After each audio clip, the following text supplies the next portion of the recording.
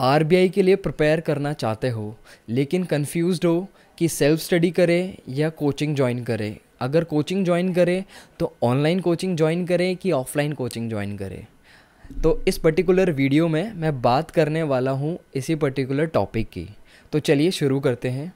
अगर आप ये सवाल मुझसे पिछले साल पूछते 2019 या 2020 में तो शायद मेरा जवाब ये होता कि अगर आप सेल्फ स्टडी करना चाहते हो इंटरेस्टेड हो मोटिवेटेड हो डेडिकेटेड हो तो आप सेल्फ स्टडी करो। लेकिन क्योंकि ये 2021 है और यहाँ पर पैटर्न कम्प्लीटली चेंज हो चुका है आरबीआई का, जैसा कि आप लोगों को पता ही होगा। जिन्हें नहीं पता, उन्हें मैं इस वीडियो में बताऊँगा क्या क्या चेंजेस हुए हैं। तो मैं रिकमेंड नहीं करूँगा उन स्टूडेंट्स को जो कम्प्लीटली फ्रेशर हैं। जिन्हें अपने सीनियर ब्र, अपने ब्रदर से पता चला है अपने कलीग से बैचमेट से पता चला है कि आर बी वैकेंसीज़ निकालता है और आपको इसके लिए प्रिपेयर करना चाहिए। तो मैं रिकमेंड करूँगा कि आपको मेंटोर की हेल्प ज़रूर लेनी चाहिए ताकि आपके जो चांसेस हैं आरबीआई के अंदर जाने के पहले ही अटेम्प्ट में वो बढ़ सके। होता क्या है सेल्फ स्टडी में बेसिकली बहुत छोटा सा डिफरेंस होता है। जो बच्चे कोर्स लेते हैं उनमें और जो बच्चे कोर्स नहीं लेते सेल्फ स्टडी पे फोकस करते हैं उनमें। लोग क्या सोचते हैं कि हम इतनी महँगी कोचिंग क्यों ज्वाइन करें? अगर मार्केट में बुक्स है तो हम उसी से पढ़ लेते हैं। वो उसे एज एन एक्सपेंस काउंट करते हैं। आपको कभी भी एज एन एक्सपेंस काउंट नहीं करना उसको। हमेशा एज एन इन्वेस्टमेंट काउंट करो और कोचिंग जो है वो फ़र्स्ट टाइम अगर आप कम्प्लीटली फ्रेशर हो और आप मान लो नॉन कॉमर्स बैकग्राउंड से हो तब आपको डेफिनेटली ज्वाइन करना चाहिए। इनफैक्ट जो स्टूडेंट्स कॉमर्स बैकग्राउंड से है, उन्हें भी कोर्स ज़रूर ज्वाइन करना चाहिए अगर वो फ़र्स्ट टाइम प्रिपेयर कर रहे हैं तो स्पेसिफिकली रीज़न क्या है? रीज़न बहुत सिंपल है। सेल्फ स्टडी पे जब आप जाओगे, ठीक है तो आपको दस बुक्स के नाम मैं बता सकता हूँ बहुत इजीली फ़ेज़ वन के लिए फ़ेज़ टू ई और फाइनेंस और मैनेजमेंट के लिए।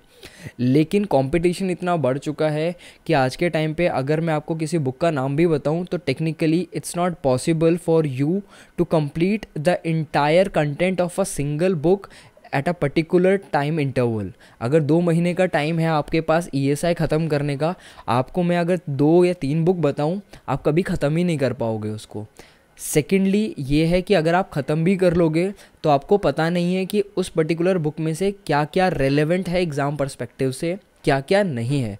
तो चांसेस बहुत ज़्यादा रहते हैं इसमें कि आप ऐसा, ऐसे नोट्स बनाओ या फिर आप वो चीज़ मगअप कर लो जो एग्ज़ाम परस्पेक्टिव से रेलेवेंट नहीं हो, नहीं थी या बेसिकली उतनी इंपॉर्टेंट नहीं थी और आप मिस कर दो। तो वो कहीं ना कहीं आपके चांसेस बढ़ाने की जगह कम कर देंगे, जबकि कंपटीशन बहुत हाई है। यहाँ पर आपको हार्ड वर्क तो करना ही करना है। साथ में you should also keep this in mind कि स्मार्ट वर्क जो है, वो बहुत इंपॉर्टेंट है यहाँ पर। सेकेंडली अब मैं बात करने वाला हूँ उन लोगों की जो अभी कहीं जॉब नहीं करते, ठीक है? कम्प्लीटली फ्रेशर है। वो सोच सकते हैं स्टार्टिंग के एक दो महीने दे सकते हैं सेल्फ स्टडी में। अगर उन्हें लगता है कि सेल्फ स्टडी में मैं उतना डेडिकेटेड नहीं प्रिपेयर कर पा रहा हूँ डेडिकेटेडली या फिर मैं कहीं ना कहीं अपने पाथ से भटक रहा हूँ क्योंकि मेरे पास रेलेवेंट सोर्स या रेलेवेंट कंटेंट नहीं है तो उनको डेफिनेटली किसी ना किसी कोर्स में जाके इनरोल करना चाहिए। After doing the thorough research कि मार्केट में कौन सा ऐसा मेंटोर है जो अच्छा या रेलेवेंट कंटेंट प्रोवाइड करवा रहे हैं, ठीक है?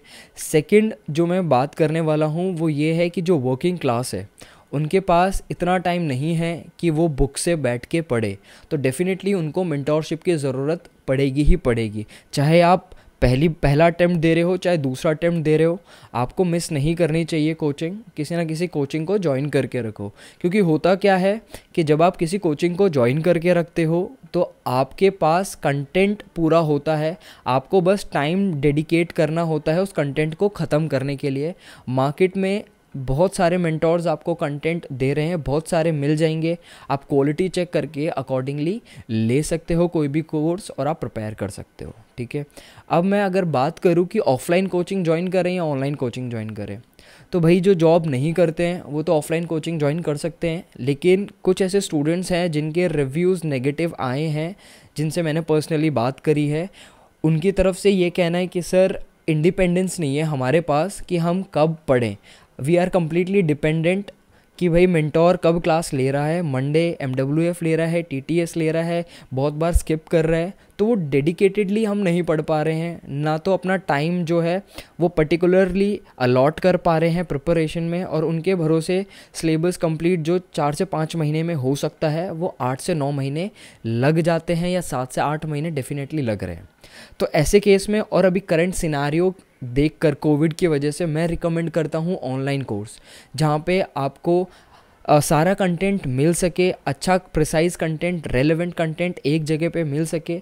आपके पास ये इंडिपेंडेंस हो कि आप अगर सुबह देखना चाहो तो सुबह पढ़ो दिन में पढ़ना चाहो दिन में पढ़ो रात को पढ़ना चाहो रात को पढ़ सको। और एक ऐसा मिंटोर हो जिस पे आप ट्रस्ट कर सकते हो अपनी क्वेरीज अगर कोई भी डाउट होता है तो वो रिजॉल्व कर पाओ।